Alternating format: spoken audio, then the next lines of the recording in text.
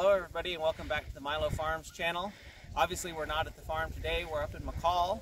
Uh, we have a nice cabin that we're staying at Ponderosa Park that we rented for the weekend. Um, right now we're at the activity barn in McCall. They have snow tubing that you can see behind us. They also have uh, sled dog rides that are over on the other side. Uh, they have refreshments and uh, we just finished snow tubing, had a great time. Um, it wasn't a bad deal. It was two hours of snow tubing for $18 a person. It was a good deal.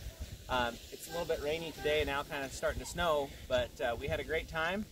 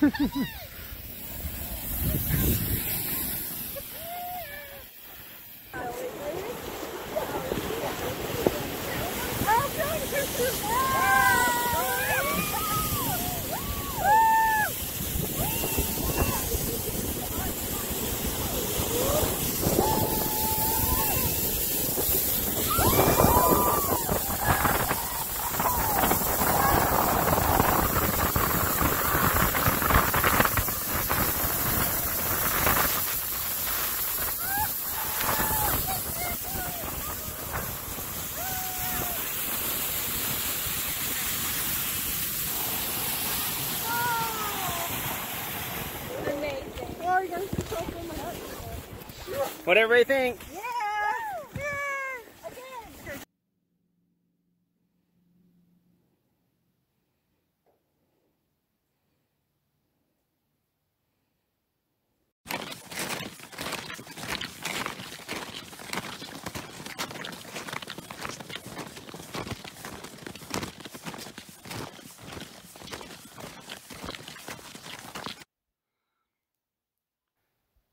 This is our cabin that we had for the weekend here at uh, Ponderosa Park. This is the elk cabin. Um, they say it'll sleep uh, eight altogether. Um, we'll give a tour in just a minute of the inside of it. Um, it's right on the lake. You can see here the lake is right through the trees there.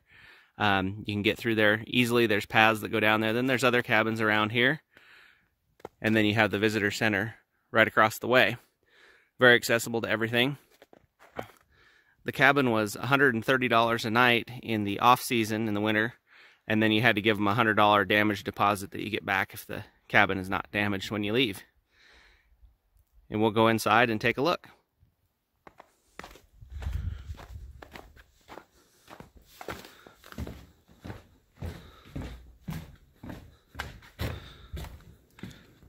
So the cabin's got two levels and a little kitchen, dining room, restroom in the back corner here.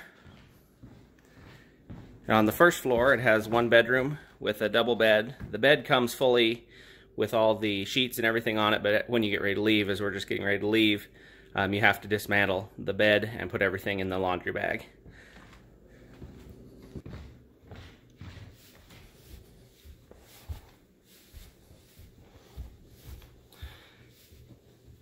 And then upstairs, it has a futon, which could sleep two people. And then it also has another double bed. And then downstairs, it has a hide-a-bed or a couch that turns into a bed to sleep two more people. I would highly recommend the cabin here at Ponderosa Park for the price. It was a good deal.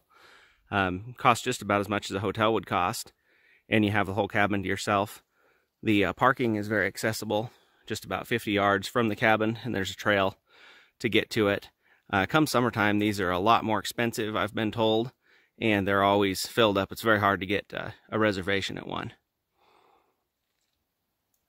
So we're going to be taking off, headed back home in a little bit, and we'll be seeing you next time here on Milo Farms.